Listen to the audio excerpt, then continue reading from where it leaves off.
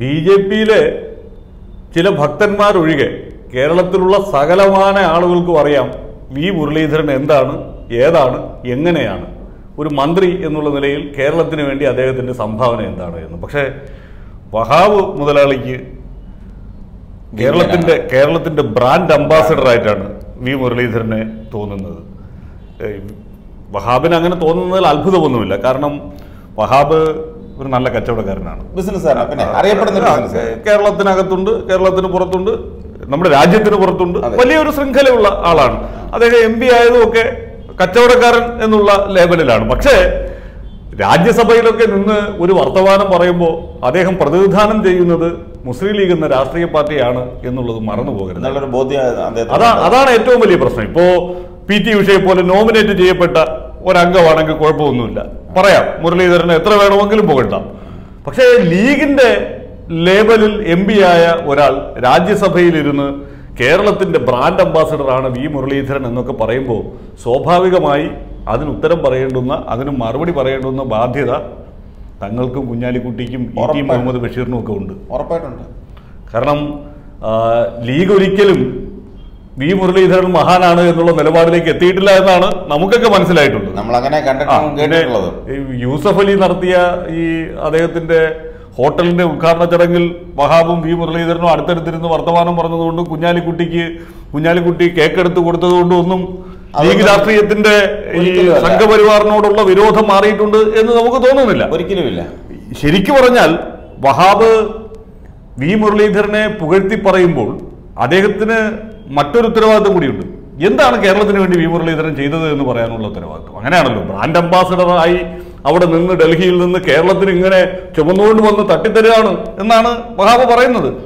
തിരിച്ചടിച്ചിട്ടുണ്ട് ജോൺ അല്ല ജോൺ ബ്രിട്ടാസ് ജോൺ ബ്രിട്ടാസിന് അത് പറയാതിരിക്കാനും ആവില്ലല്ലോ. ജോൺ ബ്രിട്ടാസ് അത് ചൂണ്ടിക്കാട്ടുമ്പോഴും വഹാബിനെ പോലുള്ള ഒരാളിൽ നിന്ന് അത്തരം ഒരു പ്രതികരണം ഉണ്ടായത് ബ്രിട്ടാസിനെ പോലും അത്ഭുതപ്പെടുത്തിയിട്ടുണ്ട്. കാരണം എന്താണ് ചെയ്തത്? ഏത് ഘട്ടത്തിലാണ്? നമ്മൾ ഈ പറയുന്ന വഹാബ് അടക്കമുള്ള ആളുകൾ അദ്ദേഹത്തിന്റെ പാർട്ടി അടക്കം ഒരുമിച്ച് നിന്ന് കേരളത്തിന് വേണ്ടിയിട്ട് പോരാട്ടം നടത്തുമ്പോഴും തുരങ്കം വയ്ക്കാനാണ് വി മുരളീധരൻ ശ്രമിച്ചിട്ടുള്ളത്. എപ്പോഴും മാറി നിന്നിട്ടുള്ള ഒരാളാണ്. ബി ജെ പിയുടെ തന്നെ കേന്ദ്രമന്ത്രിമാരായിരുന്നു ഒ രാജഗോപാലും അൽഫോൺസ് കണ്ണന്താനവും ഒക്കെ. എന്തെങ്കിലുമൊക്കെ ചെയ്തിട്ടുണ്ട് എന്ന് അവർക്ക് പറയാനുണ്ട്. ഇദ്ദേഹത്തിന് ഇല്ല. എന്തെങ്കിലും ഒരു കാര്യം ചെറിയ കാര്യമെങ്കിലും ഒന്ന് ചൂണ്ടിക്കാണിക്കാൻ ഈ മുരളീധരന്റെ ശ്രമഫലമായി കേരളത്തിൽ വന്നിട്ടുള്ള ഏതെങ്കിലും ഒരു പദ്ധതി എവിടെയെങ്കിലും ഒരു പേര് എഴുതി വെച്ചിട്ടുണ്ടെങ്കിൽ ഓക്കെ. മന്ത്രി എന്നുള്ള നിലയിൽ കേന്ദ്ര സർക്കാരിന്റെ ദേശീയപാതയുടെ അവിടെ എവിടെയൊക്കെ പേരെഴുതി വെച്ചിട്ടുണ്ട്? അതല്ലാതെ എന്റേത് എന്ന് പറയാൻ. ഇപ്പോ ഒ രാജഗോപാലിനൊക്കെ റെയിൽവേ സഹമന്ത്രി എന്നുള്ള നിലയിൽ ഒരുപാട് കാര്യങ്ങൾ പറയാനുണ്ട്. കേരളത്തിന് വേണ്ടി എത്രയോ ട്രെയിൻ സർവീസുകൾ അദ്ദേഹം ഒരുപാട് ഒരുപാട് കൊണ്ടുവന്നു. ഒരുപാട് റെയിൽവേ സ്റ്റേഷനുകളുടെ വികസനത്തിന് അദ്ദേഹം ഇടപെടൽ നടത്തി. അങ്ങനെ അടയാളപ്പെടുത്തലുകൾ നടത്തിയിട്ടുണ്ട്. ഇത് അതൊന്നുമില്ല. ഒന്നുമില്ല. ആകെ ഉള്ളതെന്ന് പറഞ്ഞാൽ കേരളം മോശമാണ് കേരളം മോശമാണ് എന്ന് പറയും. വഹാബ് ഈ പ്രസംഗത്തിന്റെ ഇടയിൽ ഇങ്ങനെ പറഞ്ഞു അദ്ദേഹം മഹാനാണ് എന്നൊക്കെ പറഞ്ഞിട്ട് കേരളത്തിലേക്ക് വരുമ്പോൾ അദ്ദേഹം സംസ്ഥാന സർക്കാരിനെ കുറ്റപ്പെടുത്തും. സത്യം പറഞ്ഞാൽ കരുതിയത് അടുത്ത വാചകം പറയുന്നത് അത് മോശമായ പരിപാടിയാണ് എന്നുള്ളതായിരിക്കും എന്നാണ്. പക്ഷെ അദ്ദേഹം പറഞ്ഞത് ആ പറയുന്നതൊക്കെ ശരിയാണ് എന്നാണ്. എന്തൊരു വിഡിത്തമാണ് ഈ ഒരു ഒരു ലീഗിന്റെ രാജ്യസഭാംഗം സംസ്ഥാന സർക്കാർ അത് പിണറായി വിജയനോ ഉമ്മൻചാണ്ടിയോ ആരോ ആയിക്കോട്ടെ എക്സ് ഓർ വൈ സംസ്ഥാന സർക്കാരുകളെ വേട്ടയാടുന്നതിന് വേണ്ടി വലിയ ശ്രമം നടത്തിക്കൊണ്ടിരിക്കുന്ന ബി ജെ പി. ആ ബി ജെ പിയെ പ്രതിനിധാനം ചെയ്യുന്ന ഒരു മന്ത്രി. ആ മന്ത്രി നിരന്തരമായി കേരള സർക്കാരിനെതിരെ നടത്തിക്കൊണ്ടിരിക്കുന്ന പരാമർശങ്ങളിൽ എന്തൊക്കെയോ വലിയ ശരിയുണ്ട് എന്നുള്ളതാണ്. അതിൽ ഏതാണ് ശരിയെന്നുള്ളതാണ് നമുക്ക് സംശയം ഉണ്ടാകുന്നത് എവിടെയാണ് ശരിയുള്ളത്?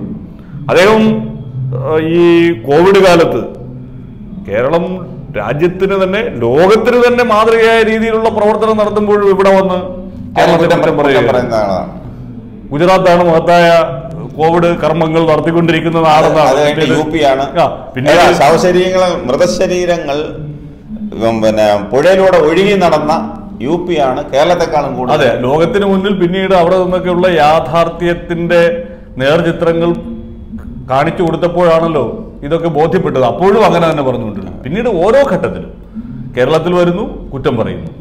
ഇതങ്ങനെയല്ല ഇങ്ങനെയെന്ന് പറയുന്നു. ഏറ്റവും ഒടുവിൽ ദേശീയപാതയുടെ കാര്യത്തിൽ പറയുന്നു. കേരളം മാത്രമല്ല പൈസ കൊടുത്തിട്ടുള്ളത് എന്ന് പറയുന്നു. അതിന്റെ യാഥാർത്ഥ്യവും പിന്നാലെ പുറത്തു വന്നു.